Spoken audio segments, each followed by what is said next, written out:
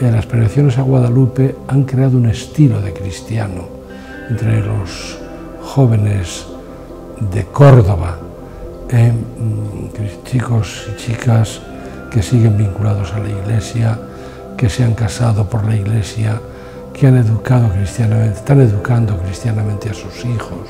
Yo guardo un recuerdo entrañable de las peregrinaciones a Guadalupe.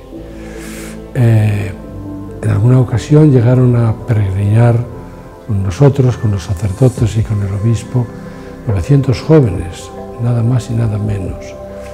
Bien, yo creo que las peregrinaciones a Guadalupe fueron una experiencia de gracia, un acontecimiento de gracia que sirvió para muchos jóvenes para descubrir al Señor, para encontrarse con el Señor, para crecer en amor y devoción a la Santísima Virgen y para descubrir también a la.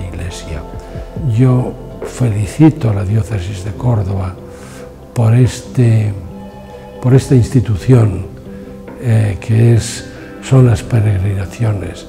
Y desearía que siguieran adelante que no se, que no se supriman, que no se agoten, porque son realidades muy fecundas que han producido muchos frutos de vida cristiana, de fidelidad y de santidad.